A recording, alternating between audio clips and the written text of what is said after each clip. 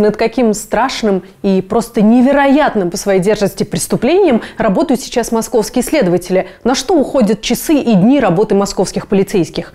О, это преступление по страшной статье. Просто страшненной. Статья 236, часть 1.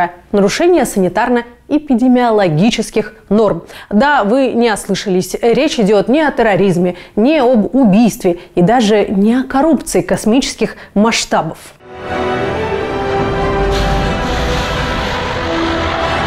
Так сложилось, что аккурат в последние дни 2020 года депутаты ужесточили наказание по этой статье. И теперь тем, кого решат привлечь по ней, грозит до двух лет лишения свободы. Неплохо, правда?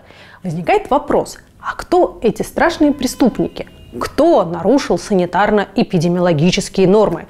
Может быть, Сергей Собянин, устроивший давку в метро прошлой весной, или Элла Памфилова, которая провела всероссийское голосование на пеньках. Может, э, чем черт не шутит сам Владимир Путин, который отказывается носить маску в толпе людей? Нет, друзья, вы не угадали. Страшненными преступниками оказались политические активисты, а также соратники и родственники Алексея Навального. Как минимум 18 обысков, а, пятеро задержанных, ночные допросы и прочее беззаконие по статье о нарушении санитарно-эпидемиологических норм. Не надо открывать, вы сломали дверь, невозможно ее открыть, она заблокирована. Сейчас приедет мой адвокат через 15 минут. Мне, конечно, ужасно интересно, а что в рамках этой статьи можно найти во время обыска? Следователи надеялись найти пробирки с новым штаммом коронавируса, пачки зараженных масок, может быть, листовки ковид-диссидентов. Что это было вообще? А главное, почему на 48 часов арестованы Олег Навальный, Любовь Соболь, Мария Алехина, Анастасия Васильева, Олег Степанов?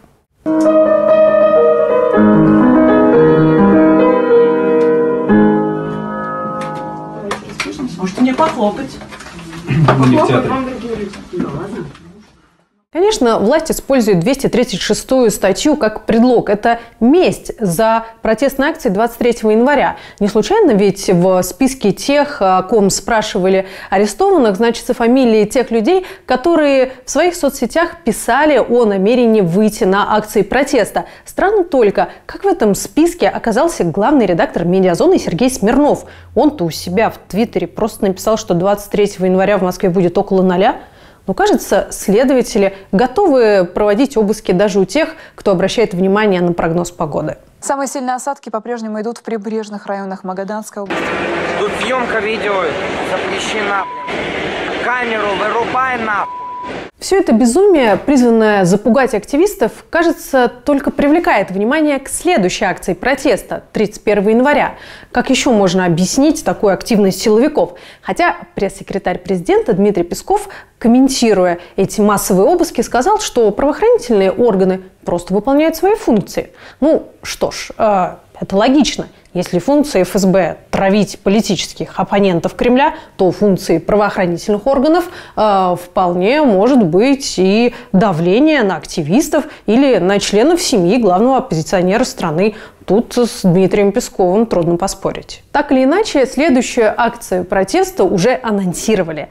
Так что в воскресенье мы увидим, сработал этот метод запугивания и давления на сторонников э, Алексея Навального или нет. Смогли добиться своего силовики или нет. Давайте обсудим это в комментариях, как вы воспринимаете действия следователей и полицейских корректировали ли вы свои планы, или, может быть, наоборот, э, вы стали решительнее, глядя на то, что происходит. Встретимся в комментариях к этому ролику. И, как всегда, не забывайте подписываться на наш канал, ставьте лайки, жмите колокольчик, чтобы ничего не пропустить. Увидимся!